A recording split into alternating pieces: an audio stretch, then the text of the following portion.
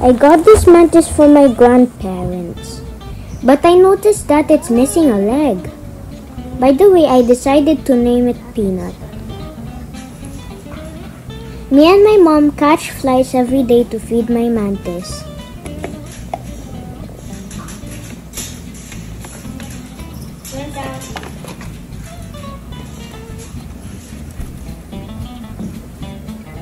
Even if it's missing a leg, it can still catch the fly.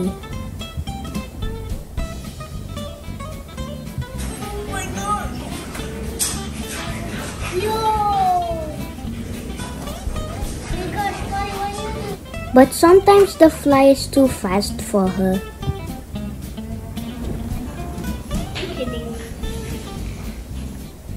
This is a slow-mo but she missed again. After a few days of having her, I was surprised to wake up to this. She molted and she is more beautiful and bigger. I am glad to see that it now has complete legs.